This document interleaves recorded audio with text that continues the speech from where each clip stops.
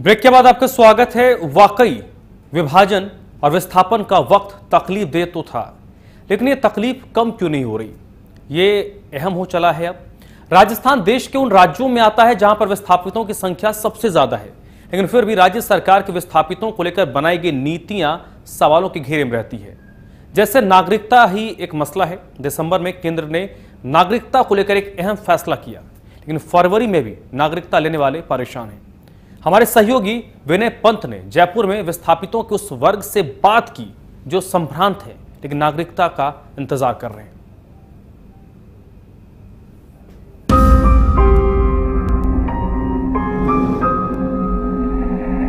पाक विस्थापित लोग आज भी अपने हक के लिए जूझ रहे हैं। जहाँ एक तरफ़ से केंद्र सरकार की तरफ़ से तमाम दावे किए गए हैं नोटिफिकेशन निकाले गए हैं, उसके बावजूद जो मूल सुविधाएँ हैं, वो इनको अभी भी प्राप्त नहीं हो पा रही जो मूल सुविधाओं से कहीं ना कहीं ये अभी भी वंचित हैं। अभी आप देख सकते हैं हमारे साथ यहाँ पे काफ़ी लोग मौजूद हैं। और आइए हम इन्हीं से जानेंगे कि किस तरह की समस्याएँ जो हैं इनको आ रही हैं। केंद्र सरकार की तरफ़ से लगातार जो है नोटिफिकेशन भी दिए गए उसके बावजूद इनको जो नोटिफिकेशन वहाँ से जारी हुए हैं, वो केवल महज कागज़ी ही रह गए हैं और धरातल पर नहीं उतर पाए सर, हम आपसे जानना चाहेंगे पहले तो ये जानना चाहेंगे, सर, एक संस्था है आपकी जो पाक विस्थापित लोगों के लिए कार्यरत है। क्या वो संस्था है? किस तरह से आप काम करते हो? किस किस तरह की जो समस्याएँ हैं, वो आपके सामने है? देखिए, ये हमें समझना पड़ेगा कि एक बहुत बड़ा जेनोसाइड जिसे अंग्रेज़ी में कहते हैं कि पूरी की पूरी एक पॉपुलेशन को ही साफ़ किया जा रहा है हमारे पड़ोस के अंदर। और ये आज से नहीं साठ सत्तर साल से सिलसिला चल रहा है। तो इसका ऐतिहासिक परिप्रेक्ष्य है कि जो हिंदू और सिख विभाजन के बाद वहाँ रह गए थे, उनका नैसर्गिक हक इस धरती पर बनता है या नहीं बनता है? और जब ये वर्तमान सरकार शासन में आई थी तो इन्होंने अपने मैनिफेस्टो में ही बात रखी थी कि हाँ ये यहाँ पर रेफ्यूजीज की तरह शरणार्थियों की तरह आएँगे। ये हालाँकि शब्द बड़ा अपमानजनक है। ये तो इनका घर है। मैं तो ये मानता हूँ कि इनका घर इन्हें आने की स्वतंत्रता होनी चाहिए। और केंद्र सरकार ने बहुत पूर्वक हमारे इस मिशन में हमें सहायता दी है हमें आशीर्वाद दिया है। और हर तरह के नोटिफिकेशन जिसमें सिटीजनशिप वीजाज इनके लिए जॉब परमिट्स हर तरह की जो सुविधा है उस केंद्र सरकार दे, दे सकती है। उसके नोटिफिकेशन आ चुके हैं। ये विषय बहुत करुणा से और बहुत पीड़ादायक विषय है कि इन लोगों को वहाँ पर सिर्फ़ अपना धर्म फॉलो करने के लिए प्रताड़ित किया जाता है। कोई आदमी अपना घर छोड़ के भैया इतनी दूर नहीं आता है। तो कोई उसके कॉन्टेक्स्ट है उसका संदर्भ है कि ये लोग क्यों वहाँ से निकल के आ रहे हैं। उसके प्रति बहुत करुणा से हमें सोचना पड़ेगा। बहुत सहृदयता से हमें अपना हाथ अपने सहोदरों की तरफ़ बढ़ाना पड़ेगा। जब हम उतनी सहृदयता से इस, इस मुद्दे को देखेंगे तो हम इस पर पूरी अपनी ऊर्जा निवेश कर पाएँगे। तो जो केंद्र सरकार जितनी ऊर्जा निवेश कर चुकी है उतनी हमारी करबद्ध प्रार्थना राज्य सरकार से भी है कि वे उन नोटिफिकेशन को लागू करें ताकि इन गरीब लोगों को तक, तकलीफ़ पाए हुए इन सताए हुए लोगों को अपना देश अपना स्थान और उनको सम्मानजनक जीवन जीने का एक अवसर मिले।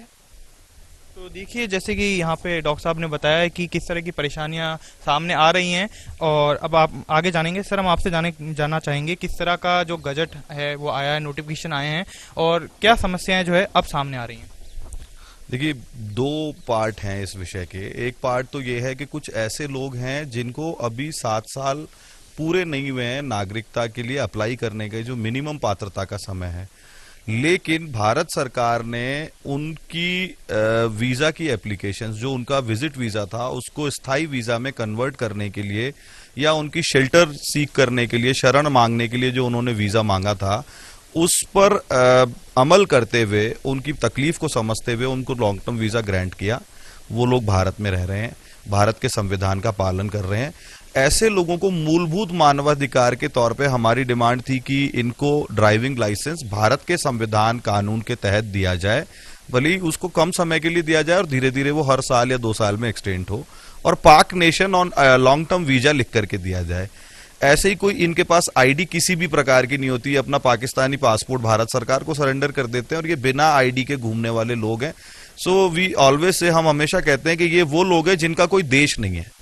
ये वहाँ पर रहें तो सुखी नहीं रह सकते। वहाँ पे इनकी बहन बेटियों को उठाया जाता है, मर्डर किए जाते हैं, इनके किडनैप्स होते हैं। और यहाँ पे आने के बाद पूरा सिस्टम इनके पीछे लग जाता है क्योंकि ये पाक नेशन है। तो ये सुविधाएँ जब भारत सरकार ने दी, ये एक नोटिफिकेशन है जिसकी कॉपी मैं आपको दूँगा। 19 अगस्त 2016 को इनको भारत में नौकरी करने की परमिशन दी गई है, इनको भारत में छोटा मोटा व्यवसाय करने की परमिशन दी गई है, इनको भारत में अपने स्वयं के उपयोग के लिए एक यूनिट का छोटा घर लेने की परमिशन दी गई है। लेकिन जब हम संबंधित डिपार्टमेंटों में जाते हैं, जैसे हम सब रजिस्ट्रार या रजिस्ट्रार ऑफ़िस में जाते हैं कि साहब, इनके लिए अगर कोई घर लेंगे तो क्या इनकी रजिस्ट्री कैसे करवाई जाएगी? तो उनके पास इसका कोई जवाब नहीं, क्योंकि राज्य सरकार डायरेक्शन नहीं देती, होम डिपार्टमेंट डायरेक्शन नहीं देता। और इसी प्रकार से बाकी की जो सुविधाएँ हैं लाइसेंस अथॉरिटीज के पास जाते हैं ड्राइविंग लाइसेंस के लिए तो उनके पास कोई जवाब नहीं होता। जब पैन कार्ड बनवाते हैं तो इनका पैन कार्ड जब हम लॉन्ग टर्म वीज़ा की कॉपी देके बनाते हैं, एक बार इशू हुए हुए कई पैन कार्ड वापस कैंसिल कर दिए गए हैं। तो ये समझ में नहीं आ रहा कि ये होगा कैसे। गृह विभाग नौकरी करने की परमिशन भी जैसे तैसे फॉलो करके ग्रांट कर देता है एम्प्लॉयर को लिख देता है कि हाँ नौकरी पर रख सकते हो, इसका टीडीएस कैसे कटेगा? इनकी टैक्सेशन कैसे होगी? बैंकों में आज तक बहुत सारी किसी भी बैंक में ये आज तक गजट की कॉपी राज्य सरकार के द्वारा नहीं पहुंचाई गई है कि आप इनका एक सिंगल सेविंग अकाउंट खोल सकते हैं। तो ये तकनीकी दिक्कतें इतनी ज़्यादा हैं। इसी प्रकार से अभी भारत सरकार ने 23 दिसंबर 2016 को ऐसा एक नोटिफिकेशन 2004 में मनमोहन सिंह सरकार में हुआ था, जहाँ अधिक संख्या में पाकिस्तानी रिफ्यूजी हिंदू या सिख यानी पाकिस्तानी माइनॉरिटीज रह रहे हैं, उन जिलों के कलेक्टर्स को विशेष पावर दिया जाएगा कुछ समय के लिए इनके नागरिकता के पेंडिंग केसेस निपटाने के लिए, इनको नागरिकता देने के लिए। ये 23 दिसंबर 2016 को आ गया। इसके बावजूद अभी कहीं पर भी राजस्थान के किसी भी तीन जिलों को राजस्थान में दिया है, बाकी के जिलों के कलेक्टर्स को यह निर्देश पहुँचने चाहिए कि आप अपने यहाँ की फाइलें राज्य सरकार को भेजें, फ़ाइल दिल्ली न जाकर के राज्य स्तर पे उसका निस्तारण हो जाएगा। लेकिन किसी कलेक्ट्रेट में किसी भी स्तर पे कोई कॉरेस्पॉन्डेंस नहीं है, कोई सूचना नहीं है, कोई जानकारी नहीं है। लोग 18-18 साल से 20-20 साल से बैठे हुए हैं, इंतज़ार कर रहे हैं, उनका रोज यूमुलेशन हो रहा है, उनको कभी सीआईडी के आगे भुगतना पड़ता है, कभी कहीं पात्रता पूरी करके संविधान के दिए हुए अधिकार को पाने के लिए भी एक आदमी अपनी ज़िंदगी में कितना प्रताड़ित हो सकता है सिस्टम के द्वारा। ये उसका उदाहरण है। इतने इतने समय के बाद 19 अगस्त का नोटिफिकेशन राज्य में कहीं पे लागू नहीं हो पाया है। तेईस दिसंबर का नोटिफिकेशन राज्य में कहीं पे भी लागू नहीं हो पाया तो इसको हम क्या कहें? मतलब ये राज्य सरकार का फेलियर है, राज्य सरकार के गृह मंत्रालय का फेलियर है या ब्यूरोक्रेटिक फेलियर है, पता नहीं। लेकिन इन प्रताड़ित लोगों के लिए तो ये फेलियर एक उम्मीद की किरण जगती है और फिर सब कुछ खत्म होता सा लगता है। तो दोबारा से फिर ऐसा ही हो रहा है। मतलब हिस्ट्री रिपीट हो रही है। कष्ट बढ़ते जा रहे हैं, परेशानियाँ बढ़ती जा रही हैं, दिन निकलते जा रहे हैं, समाधान कोई दिख नहीं रहा।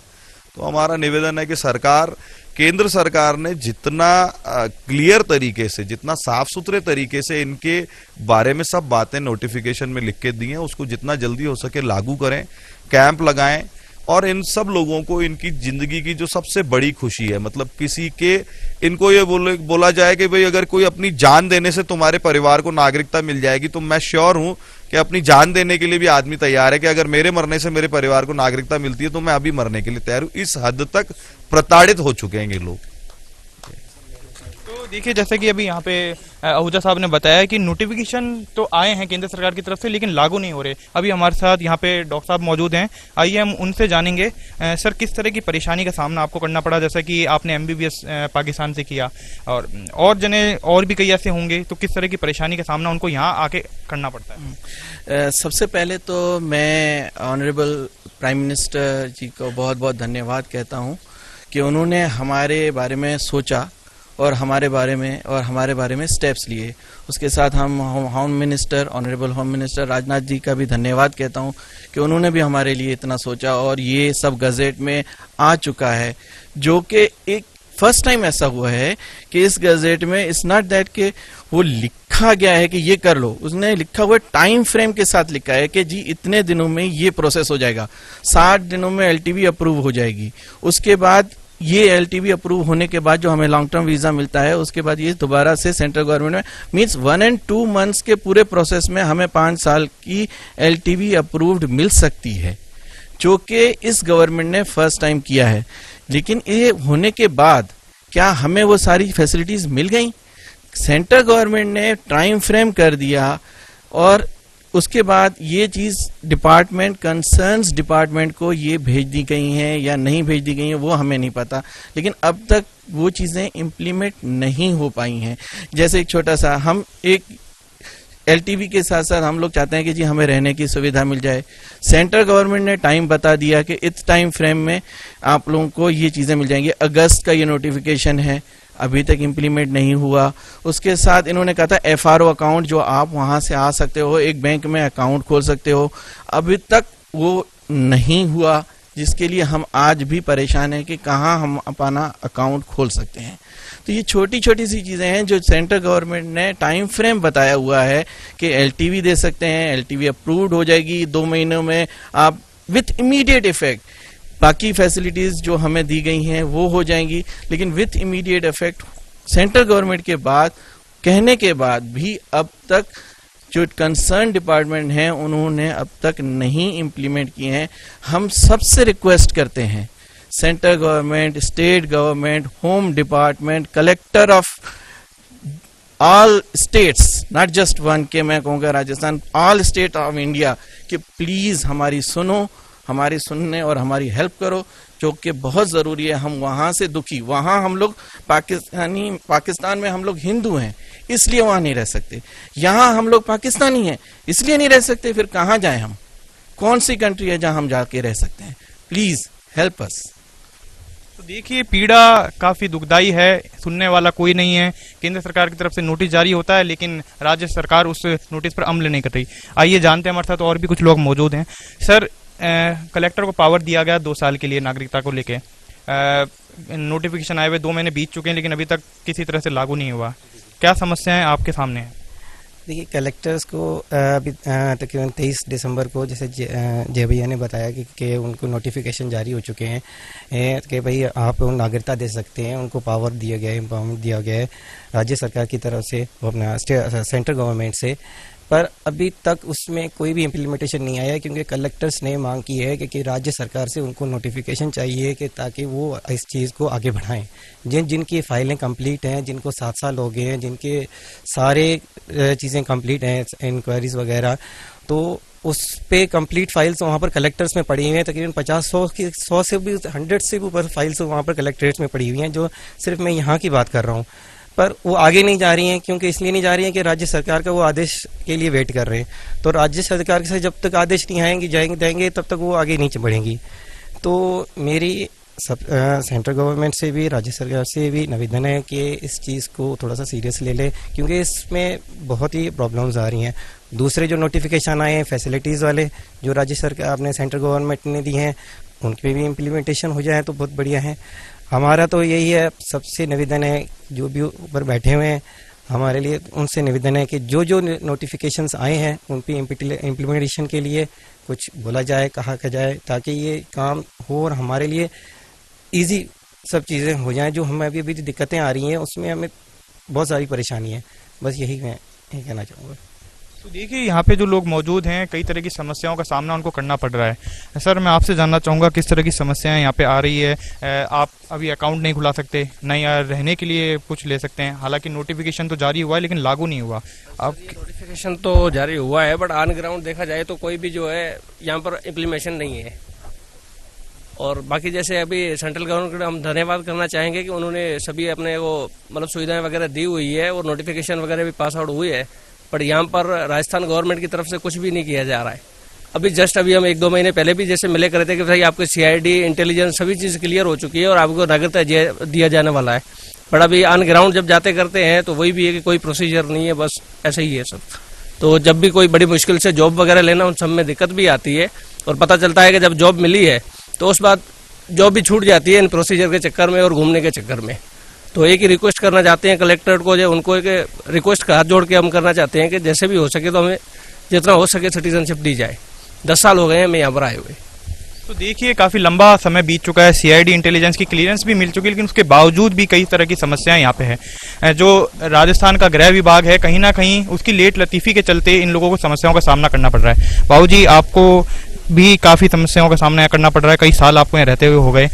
क्या समस्याएँ आपके सामने हैं और किस तरह का समाधान आप सरकार से चाहते हैं? मेरा नाम पीरा जी है। मैं आया हूँ दो हज़ार में। फिर जनता पार्टी ने नागरिकता दे दी चार में। दो हज़ार में चार में दे दी। उसे पर मेरा टाइम पूरा नहीं था। दिन कम थे। नागरिकता नहीं मिली। फिर के सात में मिलेगी। सात में कागज़ दिए। तेरह को मिलेगी। तेरह में कागज़ दिए। कभी कुछ नहीं हुआ। अभी बहुत तंग हैं। रोज़गार से तंग हैं। कभी कभी सोचता हूँ कि भाई, मैं करूँ तो क्या करूँ? मुल्क छोड़ आया, उधर का रहा ना इधर का रहा। टीवी में सुना है कि मोदी का कुत्ता ना घर का रहा, ना घाट का रहा। हम ना हिंदुस्तानी रहे, ना पाकिस्तानी रहे। ना हिंदू हैं ना मुसलमान हैं। हमारे दोनों जान टूट गए। घर बैठे हम सुनते थे कि हिंदुस्तान धर्मी मुल्क है। हम धर्मी मुल्क में आए, हमारा तो खाना खराब हो गया। हम क्या करें? इस वक्त में टाइम क्या है? मेरी घर वाली बीमार है। उसका कोई बाल बच्चा नहीं है। मेरे दो घर वाली है। दूसरी बीमार है। वो डॉक्टरों का इलाज से फारग हो गई है। मैं खुद टांग टूट गई है। मैं लाचार हूँ। एक लड़की विधवा है। वो तीनों मरीजों को सेवा करती है। पैसा कहाँ से ले आऊँ? दो बच्चे मजदूरी का काम करते हैं। सिलाई का तो हम तो तंग है। हम इसी चीज़ को देख के ये कहता है भाई ऐसे खुदकशी करना ठीक है। मेरा नाम तो हो जाएगा खुदकशी करूँगा तो हम तंग है। कह रहा हमने क्या किया? है मैंने कहा, हमारे लोगों ने कोई गलत काम तो नहीं किया। कभी के तेरह को होगी, कोई पंद्रह को होगी। पहले जनता ने, पहले जनता ने नागरिकता दी थी। फिर जिन्होंने की नागरिकता थी, उन्होंने जनता को वोट दिए। हम हमने भगवान को अरदास करी कि दोबारा जनता आ जाए तो हमारा ही काम हो जाएगा हमें को नागरिकता मिल गई है। जनता है को तीन साल हो गए, हमारे को तो कुछ नहीं मिला। अगर कोई लोन मिलता है तो हिंदुस्तानियों को मिलता है बीपीएल कार्ड मिलता है तो हिंदुस्तानियों को मिला। हमें को तो सिर्फ़ परेशानी के सवा हमारे लोगों को कोई कैम टाइम ही नहीं है। रात दिन तो परेशानी में गुजरते हैं। अब क्या करें हम? न किधर जाने जो गए हैं कि जोधपुर क्यों गए, जयपुर क्यों गए, फलाना काम क्यों किया, इधर क्यों किया? हम तो चौबीस घंटे पुलिस की नज़र है हमारे पर शेडी की नज़र है। कोई इनसे गलत काम हो जाए तो इनको हमें कोई ना कोई सजा दे दे। हम तो हर वक्त परेशान है क्या करें? तो देखिए काफ़ी परेशान हैं काफ़ी हताश हैं लोग। सरकार की तरफ़ से किसी भी तरह की कोई मदद इनको नहीं मिल रही है। काफ़ी लोग हमारे साथ और भी यहाँ पे मौजूद हैं। सर आपको किस तरह की समस्याओं का सामना यहाँ पे करना पड़ रहा है? जो मूलभूत सुविधाएँ हैं वो भी आप लोगों को मुहैया सरकार की तरफ़ से नहीं हो रही हैं। हम तो यही दे हमारे देश है हिंदू का देश है। हम तो यही कह रहे हैं जो भी हमारे को कुछ ना कुछ सुविधा होनी चाहिए। तो देखिए ये लोग इनका यही कहना है कि इनको सुविधाएँ जो है सरकार की तरफ़ से मुहैया होनी चाहिए ताकि ये लोग यहाँ पे रह सकें सुरक्षित रह सकें। अभी ये खुद को यहाँ पे सुरक्षित भी महसूस नहीं कर पा रहे हैं। सर आपको किस तरह की समस्याओं का सामना करना पड़ रहा है? समस्या तो बहुत है यहाँ पर। पहले तो हम जो सोच के आए थे भी यहाँ पर अपना देश है जाएँगे और अपना काम धंधा भी वहाँ पर छोड़ के आए भी अपने देश में जाएँगे। तो इधर तो वो जो सहूलत सोचे थे, वो हमको अभी तक कोई, यानी कि किराए के मकान एक तो दिक्कत है, वो भी नहीं मिलते। अगर मिलते हैं तो छः महीने के बाद, साल के बाद कहते हैं, उठो जी, और किराया ज़्यादा बढ़ा देते हैं। तो जितनी हमारी आमदनी है, खर्चा उससे ज़्यादा हो रहा है तो इसी यही परेशानी है। अभी हमारा हुकूमत कुछ हमारे बारे में, कोई हम सहूलतें दें, कोई हमारे बारे में कोई मकान या रिहाइश करेगा तो सर, बस, बहुत परेशानी से हम यहीं पर रह रहे हैं, और तो देखिए, ये जो लोग यहाँ पे रह रहे हैं, काफ़ी परेशान हैं। सरकार की तरफ़ से किसी तरह की कोई सुविधा इनको मुहैया नहीं कराई गई है।